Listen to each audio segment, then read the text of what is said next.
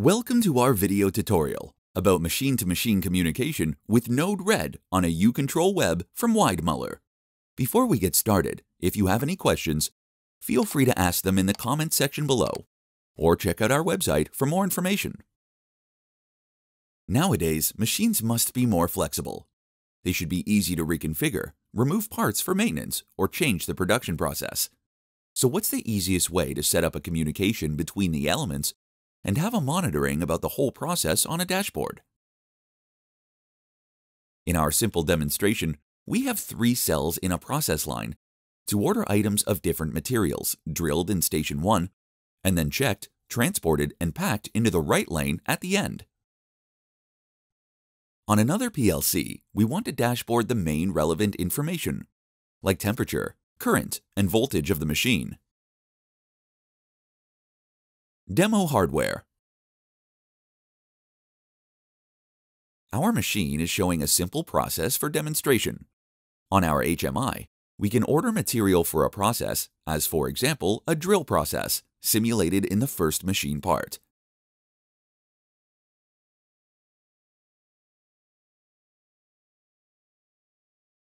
In the second part, we transport and check the material to ensure it is the right one. Finally, in the third station, we sort the parts back into the right shelf depending on the material it is made of.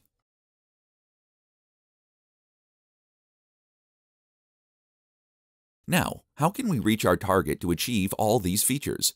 Flexibility in machine constellation and dashboarding in the cloud. Lucky if you're having a U control from Weidmuller and the needed uRemote modules already built in.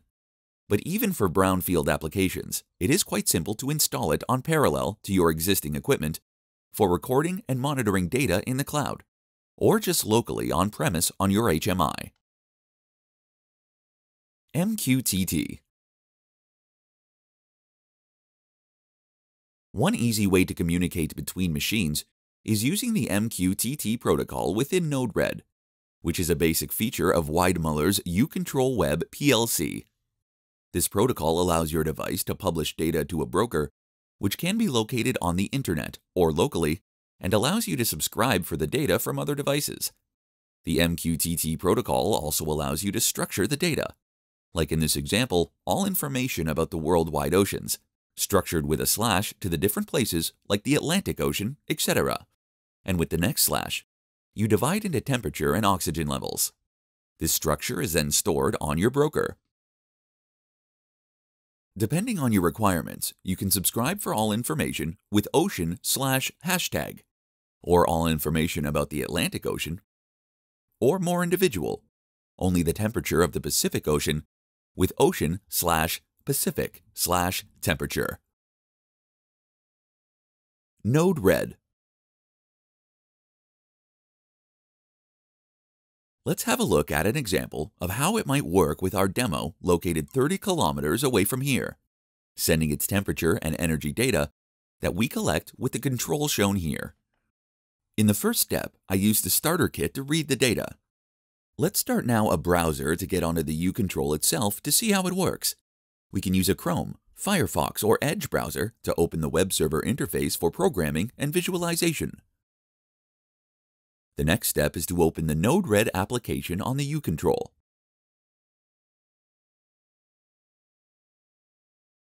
On the left side, you'll find all the node for our programming. To find the right nodes quickly, you can type the name into the filter.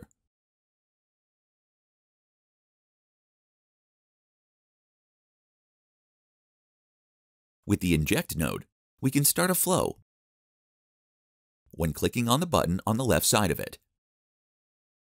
In default settings, it is sending a timestamp. For our simple example, this is fine, and there's no further setting needed. Next is to grab an MQTT out node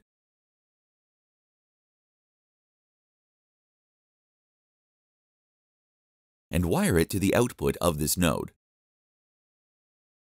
Double-click on the MQTT node and first adjust the server settings. The broker we are using is the Open Platform Mosquitto.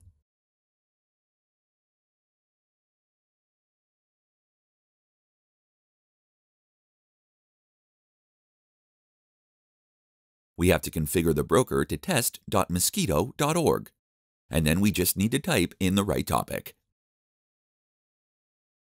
Request data.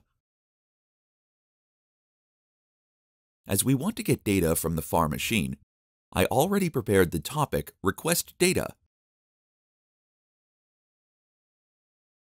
To call for the temperature, current, and voltage of this machine.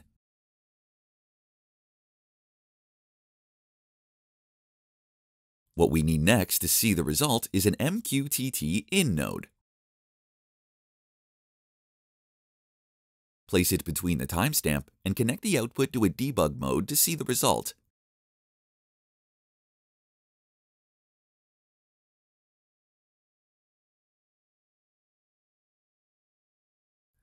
Double-click now on MQTT in node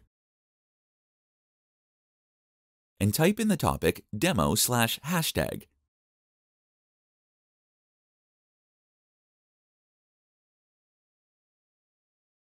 Now click on Deploy and switch to the debug window on the right side. Next, we click on Inject to start the request. Immediately, we see the result in our debug window. As you see, the machine is sending its temperature, current, and voltage.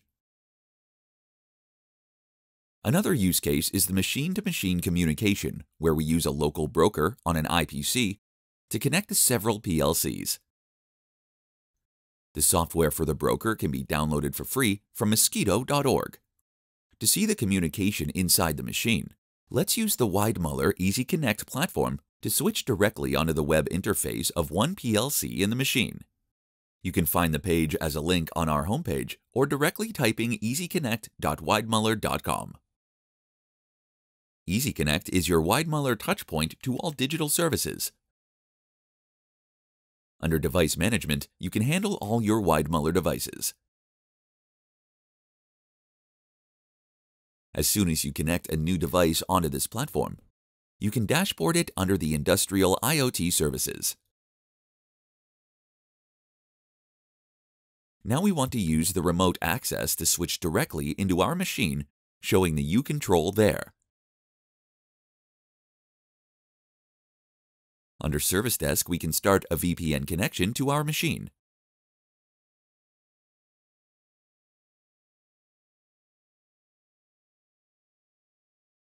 And as you see, a connection is already established. Open the browser now with the right IP address. Gives view to the Node-RED application.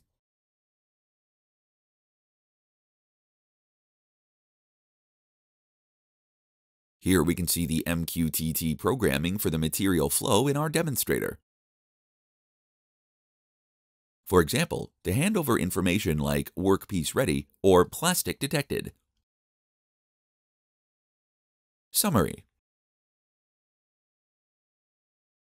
To summarize your benefits, you know time is money, and you know there are not many skills necessary to implement a communication between machines.